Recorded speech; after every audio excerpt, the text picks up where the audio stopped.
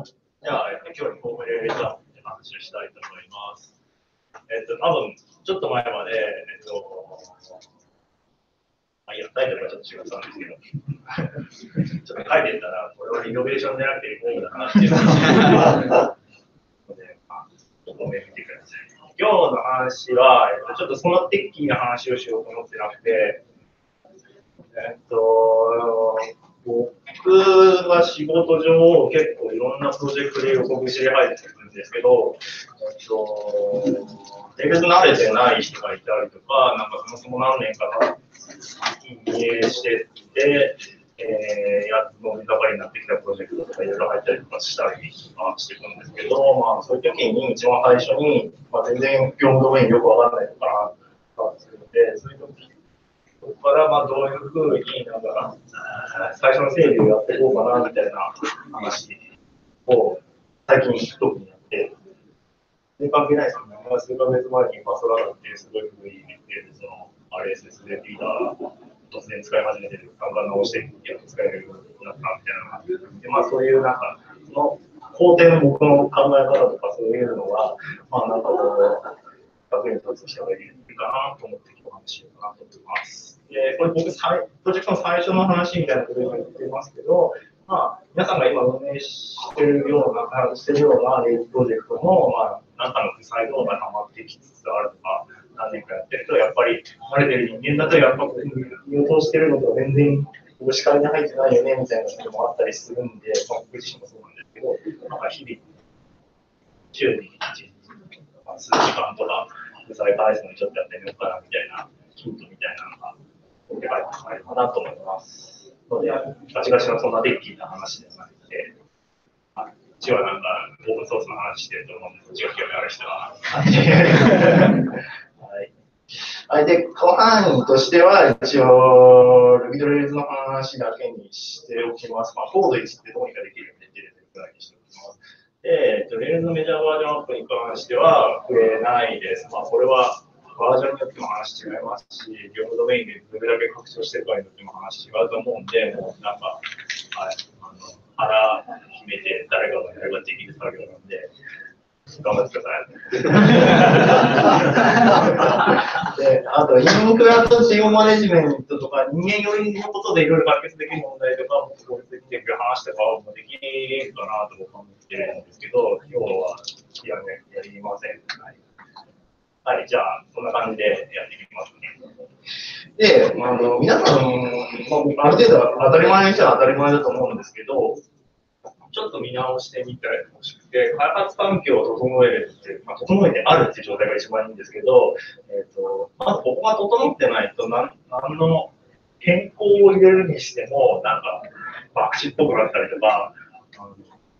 確実に大丈夫だよね。ってなんか新しく入ってきた人が突然変更加えたって、その人たちに壊れたよみたいなのが起きるのって、しょうがないっちゃしょうがないんですけど、そうやって環境が悪かったりとか、そんなことで防げるんで、まあ、ちょっと自分が今整理されてるかなっていうものを確認してもらいたいんですけど、まあ、CI と CD って書いて訳してますけど、まあ、コンテンツインテグレーションとコンテンツデプロイができる環境であるかっていうのは、まあ、皆さんできてますよね、きっと。で、まあ、こう最近だともう知り合いとかは、まあ、使うのは当たり前なのかなって気もしてますけど、まあ、トラまあ、オープンソースだとトラビスとかみんな使ってると思いますし、サークル CI も最近人気ですし、まあ、なんだろう、ジェンキンスとかもずっと使ってる人もいると思いますし、コンティニアスデプロイをやってるっていうのも、もうちょっとこの方でやってほしくて、ちゃんと、その、開発ワークフローとして、まあ、どこに行くのとか、どこのタイミングで何がどういうふうにデプロイされていて、まあ、もしなんかバグが発生したりとか、ログがおかしくなってるとかっていうのを見るようになってるかなっていうのが結構、何をするにしても重要なので、まあ、できてますよね。でもちろんテストを書いてますよね。で、えっ、ー、と、まずもステージングを整えていきましょうって話があるんですけど、多分皆さん、本番環境と試験環境みたいなぐらい大体みんな持ってるかなと思うんですけど、最近だと、あのクライアントが多様化してきたりとか、業務がスケールすることにおいて、その普一つの環境だけじゃ全然追いつかないというか、例えば3つぐらい並行して機能作ってたりとかして、あれがちゃんとして QA 流しますっていうのは最後やると思うんですけど、全然作ってる間に確認がこう、環境の取り合いみたいなのが起きたりとかっていうのはあるケースもあるんじゃないかなとか、あと、クラウドがいろいろこう、いろんなサービス提供するようになって、なんかクラウド環境にデプロイしないと、ちゃんと動かない部分があるんだよね、みたいなのが、結構最近だと、関係によってあったり、プロジェクトによってあったりするんで、まあ、そういうのも、まあ、すぐに、まあ、環境が複製できるようにしておくっていうことが結構、なんかやろうとしたときに重要。まあ、大きな変更を加えていこうと思ったら、まあ、被害が出ない環境を作って確認するっていうのはもちろんやることなんで、そういうのができるようにしておくっていうのがまず重要です。まあ、なんか、このコース、この時してパンって1個満ったらができるよとか、なんかそういうのだったらいいと思うんですけど、なんか誰かが頑張って1週間ぐらいはできるよってなってれば一番いい。それでもいいと思うんですよ。ぶっちゃけ。それ以上の価値っていうのは正直ないと思うんで、1円も生まないんで、これ頑張っても。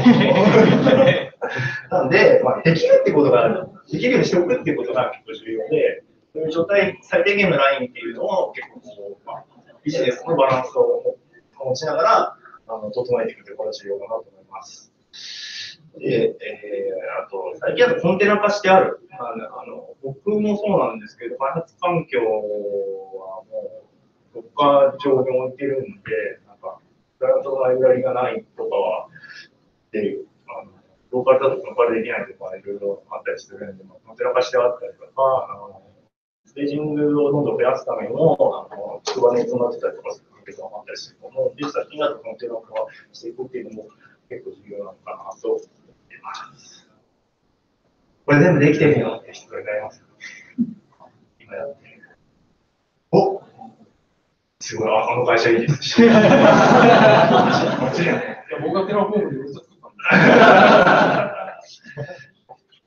なので、まあ、ちょっともうちょっとなんか今日、で、次に僕見ていくのがセキュリティなんですけど、あの、意識高い人と低い人が結構プロジェクトによってはいるんですけど、それじゃ済まない話っていうのがセキュリティなんで、あのとりあえず脆弱性のあるバージョンを使ってるんだったら、全部一気に上げろっていうのが一番最初の俺の見方で、えっと、まあ、Ruby と Rails で脆弱性のある使ってたら上げ、上げるだけで済むんだったら、さっさと上げましょうと。まあ、自分とかも一緒で、まあ、最近だと GitHub から自分のセキュリティアラート出してくれますね。で、あとは、ブレイクマンとかを結構通す時が多くて、えっと、これ何かっていうと、Rails のアプリケーションのあの脆弱性とか、ちょっと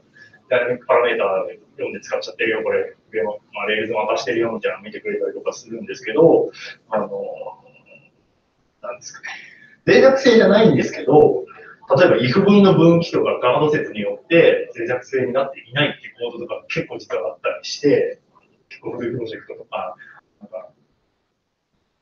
あんまり意識しないで書いちゃって、そうなってるのかなっていうのがあったりするんですけど、そういうのを、例えばなんか、誰かが今度直したことによって、1行 if 分の条件変えるとか、あの、ガム説1個削除するだけとか、なんか、なんか、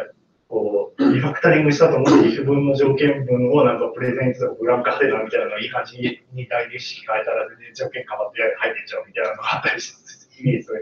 ヒューマンミスなんですけど、しょうがないと思うんですよ、そういうので起きちゃうのって、誰も悪くないと思っていて、そういうコーディングの仕方をしちゃって、コードの書き方を書いちゃってるっていうのが一番よくいけなくて、そういうのも、あの未来に対してこう意識したくないんで、あのちゃんと、誰かここ一行消したぐらいじゃ全然これ大丈夫ですよって書き方ももちろんできるので、コードとしては。まあ、そういうのは直していっちゃいましょうっていうのが、まあ、2つ目に僕がよく見てるポイントかなと思います。まあ、そういう候補を出してくれるので、こういうツールで、サクサクってやっていっちゃえばいいかなと思います。で、あともう一個サクサクってやっていっちゃおうっていう話が、なんかこう、あの皆さんご存知だと思うんですけど、いろんな理由でこう名前が変わったりと、か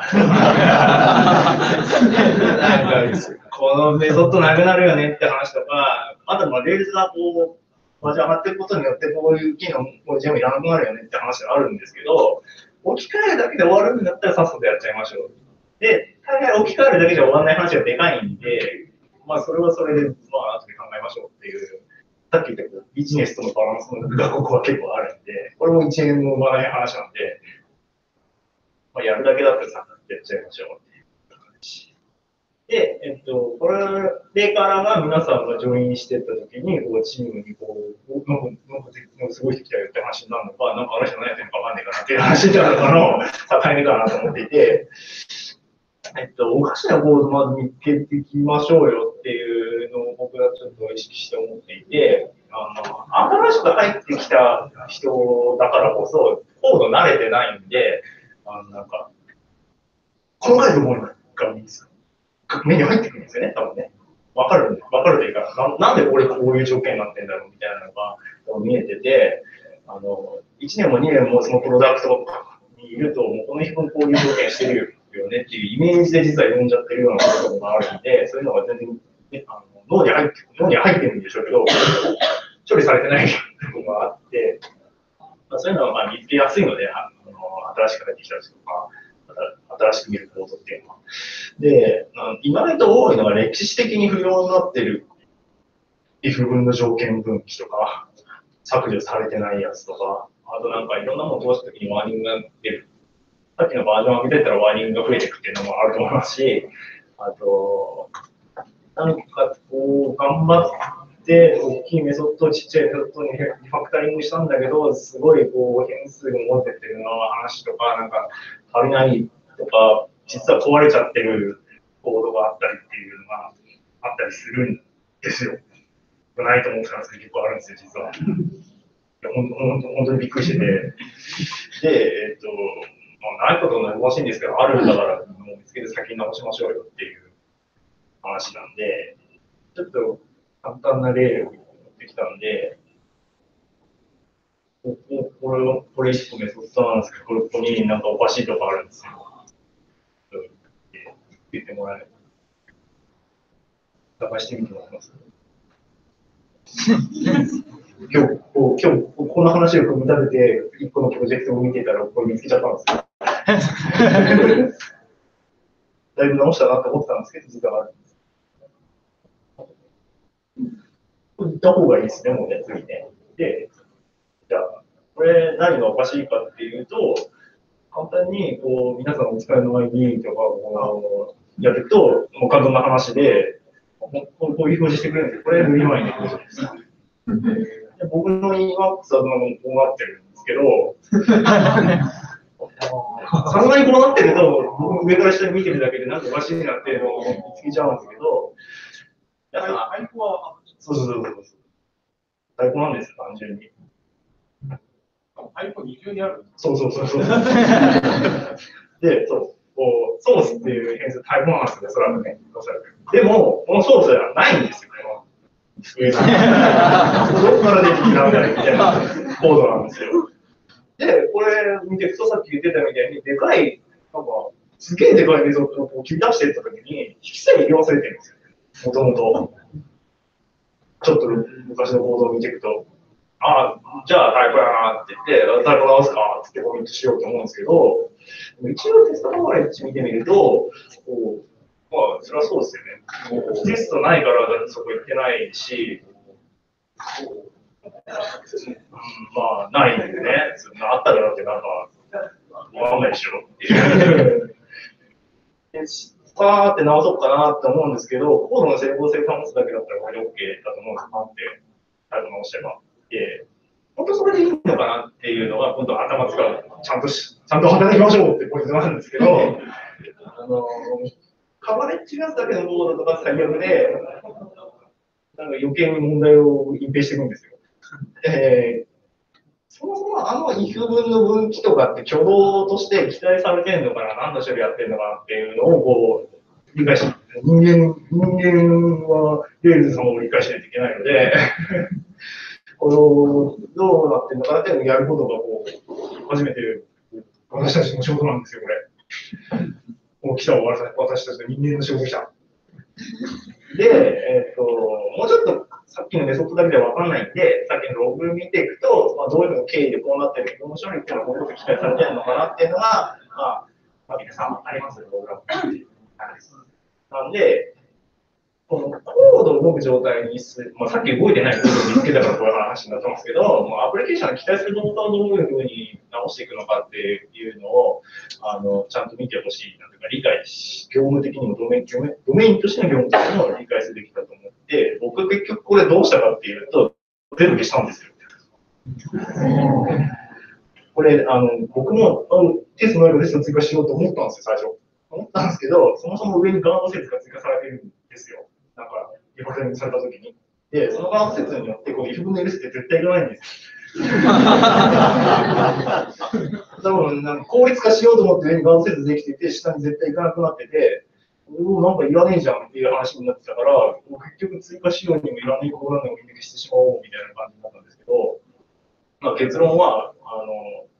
上、もっと他のスコープを通して見ていくと、上のガード設定適切に処理されてて、ここのものを日付とか向かうのじゃやらなくていいよ、これでアイテム取ってやればいいよってやなってたんで、あの、まあ、こういう、ちょっと全然思ってない方向になるっていう